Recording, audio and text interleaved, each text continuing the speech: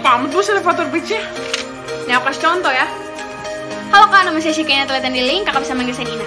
Saya adalah siswi kelas 11 IPS 1 yang berasal dari Semak Puna Berkota Sahabat. Saya dengar kakak ini kalau itu mah kecepatan. Ini ya, aku kasih contoh ya, elevator pitch yang mau nanti gimana. Halo, nama saya Revin Lisa Pancita. Senang sekali bisa bertemu dengan